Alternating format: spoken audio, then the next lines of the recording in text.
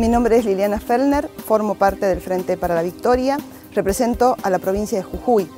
Considero que los senadores debemos velar por los intereses de nuestra provincia y Jujuy es una provincia minera en especial, por algo es la capital de la minería, hoy con un gran potencial en lo que significa el litio. También es una provincia tabacalera, es una provincia azucarera, y también lo es en lo que significan los cultivos tradicionales. Tenemos nuestra gran variedad de papandina, quinoa, kiwicha y creo que uno de los mayores desafíos, una de las cosas en las que más tenemos que estar trabajando es para poder llevar inversores a nuestra provincia por el hecho de que al tener inversores hay mayor y mejor trabajo para todos los jujeños.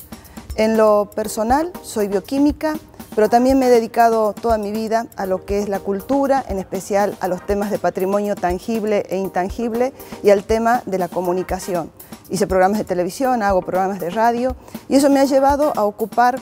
la responsabilidad máxima en lo que significan las comisiones de medios, de comunicación y de libertad de expresión en el Senado de la Nación. También formo parte de la red Mujer y Jujeña, una red que se extiende en toda la provincia, en donde las mujeres encontramos nuestro espacio, no solo para hablar de nuestros temas, sino también para trabajar en talleres productivos. Y si me preguntan por qué ese nombre de la red,